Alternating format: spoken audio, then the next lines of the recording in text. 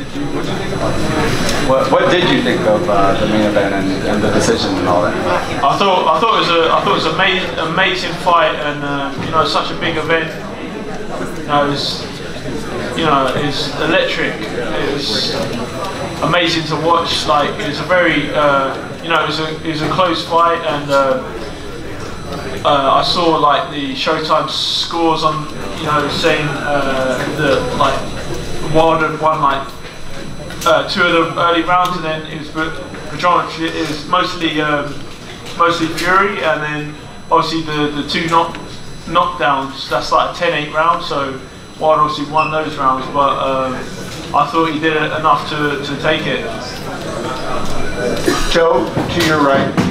I just wanted to ask you, like, can you comment on the heart that it took Tyson Fury to get up? Like, as a fighter, when you see a guy go down as hard as he did, especially in that 12th round, to get up, what it takes for a guy to get himself up and finish, I think there was two minutes left in that fight.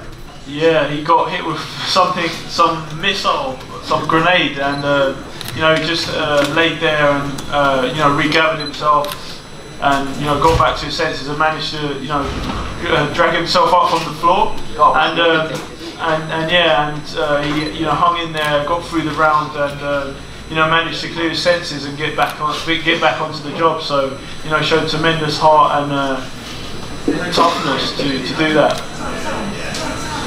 And obviously boxing um, experience. Joe, before the fight, did you go to Tyson Fury's uh, dressing room? Did you guys have any words of advice to each other, or? Um, we, we, was, we was just on the way there, but um, we came we, we came to. No, before the fight. Oh yeah, before, before the fight. Yeah, yeah, yeah. We went over and uh, yeah, shook his hand and you know said hello to them guys there and uh, you know wish them good luck and yeah. So. About you, did he give you any words of advice? Uh, yeah, just told yeah, something well done and. You got there just as the guy hit the canvas you smart, you smart Tyson Fury.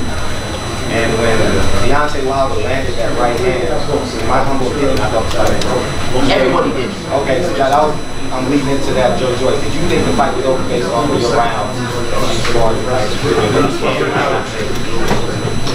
I thought it, it was very hard. It was.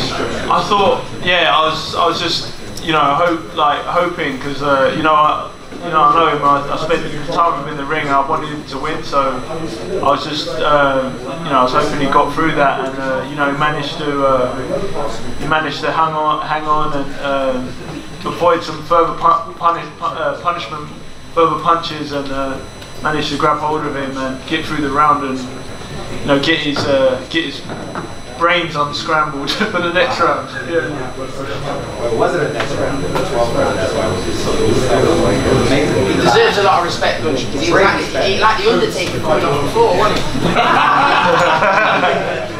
You're a great, you're a great PR man. I was telling Abel, I was telling Abel, Michael Moorer didn't get up from that shot against George Foreman as Tyson Fury did.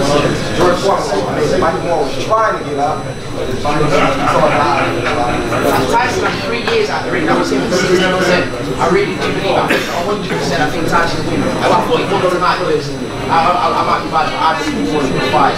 But the draw is going to be a great rematch. Also, he's a, he's a born and bred uh, you know, traveller fighting man. So you know, that's that's how we managed to get out Speaking of the traveller, he's uh, he's coming next. So thank you,